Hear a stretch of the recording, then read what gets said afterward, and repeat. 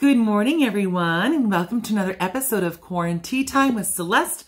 I'm your host, Celeste Barbier, and this is episode number 89 for Saturday, June 20th, 2020. And it's the summer solstice. It's the longest day of the year. So happy solstice, everyone.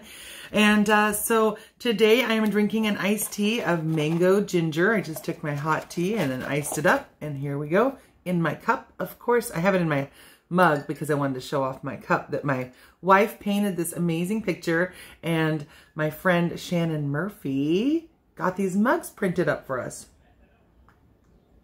Aren't they super cute? Love them. Anyway, so birthdays. We had a lot of birthdays today, but um, some of the old actors. I got a really old-timey actor named Errol Flynn. He was known for his Errol Flynn mustache. He was born in 1909. He said, my problem lies in reconciling my gross habits with my net income. I think more than one of us can say that's probably true for us. yep, me too.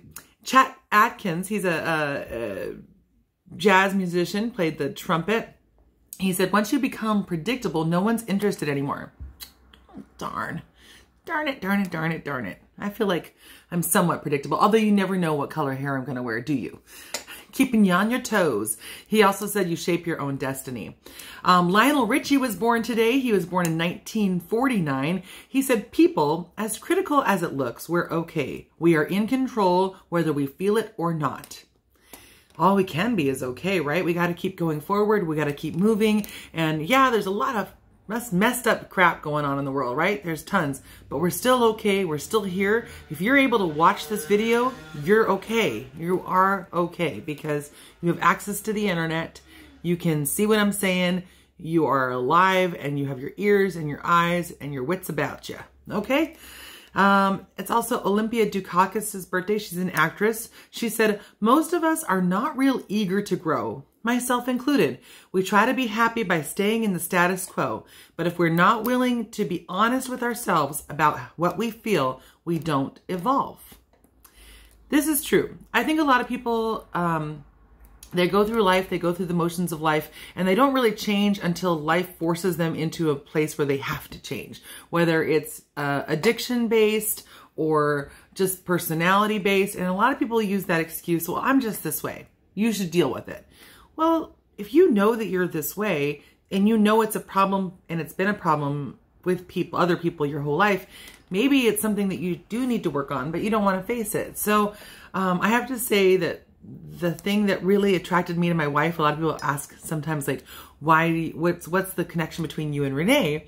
Well, her ability to evolve and to work on herself is the main attraction that I had to her when she, I, so I'm kind of an interrogator. I'm kind of a inquisitive person. And I asked her over 300 questions on our first date. And she was so honest, like more honest than anybody would be. You know, like some people try to impress you by like maybe giving you little white lies and telling you little, little lies or little half truths or kind of omitting the truth. Well, she didn't. She told me the full on here I am, this is who I am kind of truth. And I loved that. It was such a rare quality. Um, and she told me about how she got to critical places in her life that forced her to have to change and evolve and be a better person.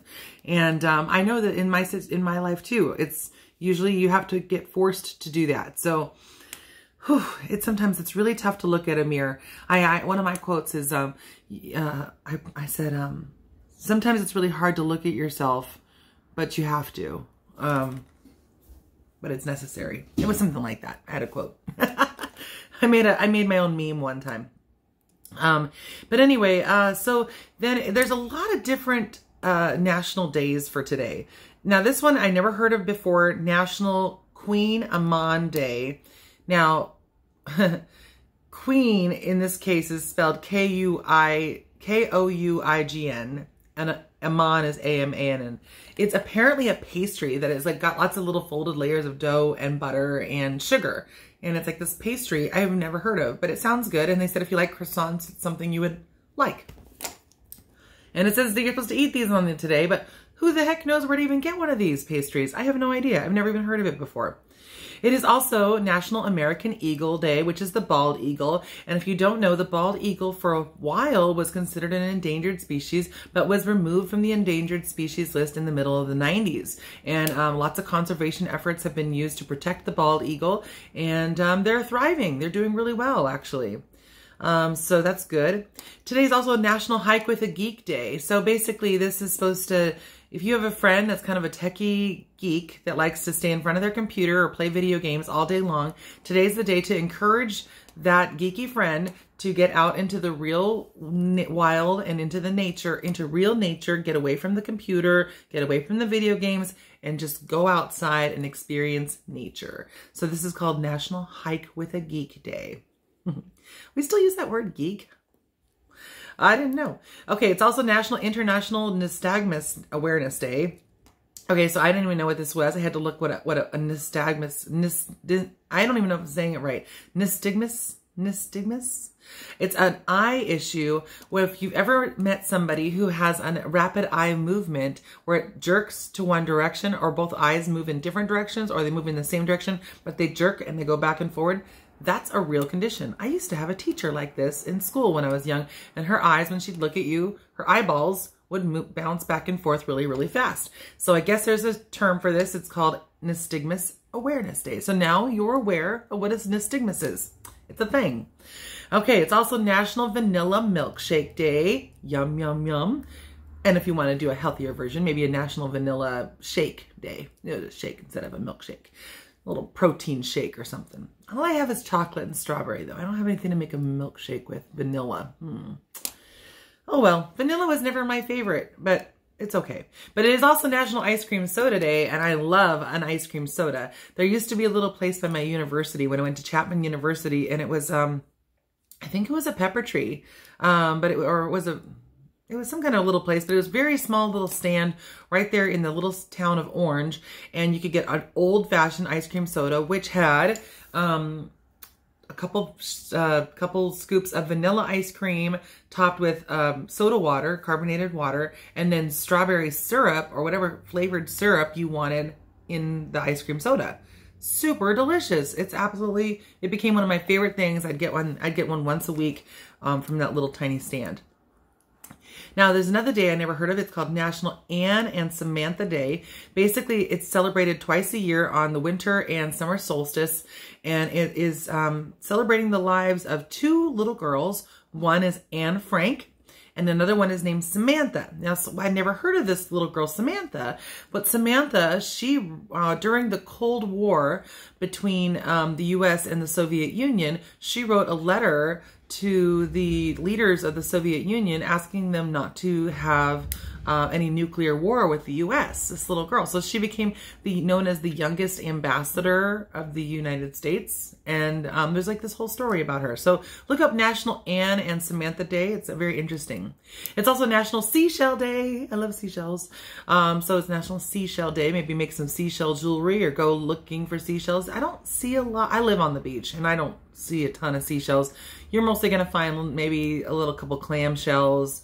Uh, once in a great while, you might find a little like um, snail shell out there, but usually everything's pretty pummeled by the water over here. You'd have to find a cove. If you have a cove, then you might have some seashells that have been preserved, but yeah, I don't see a lot here. You know where I saw a lot of seashells? Was when I lived in Australia.